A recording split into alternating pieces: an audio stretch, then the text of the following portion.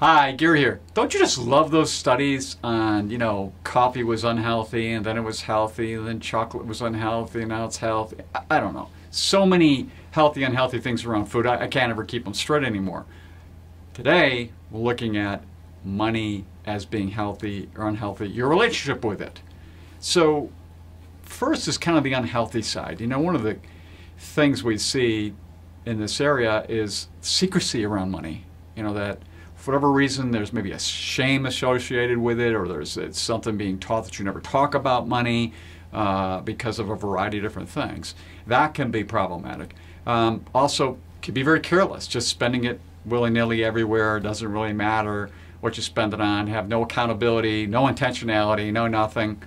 Uh, and kind of the other part sometimes a little cruel. You'll see people use money as leverage you know, if I give you this, then you do that. You know, if I if if you do this, I'll do that. But money's always in the transaction, and it makes you almost not want to deal with them because you always know it's going to be about money, and you don't want to have to deal with that all the time. That's kind of three unhealthy areas.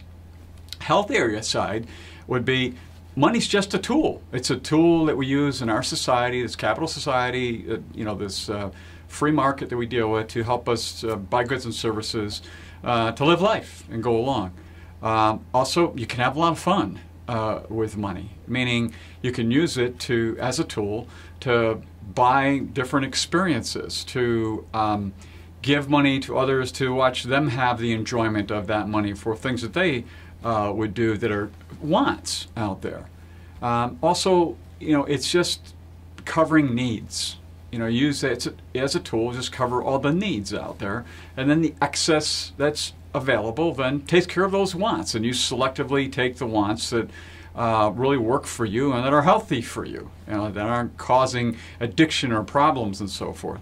So, you know, when you look at money, kind of see what you're doing, make an assessment of that to see if you've got these unhealthy relationships with money and maybe replace them with good, healthy habits around money and it'll make your life a lot simpler when you're dealing with money and everybody else around you and, and it kind of takes that off the table. Then you can deal with all the food and everything else to get you healthy or unhealthy.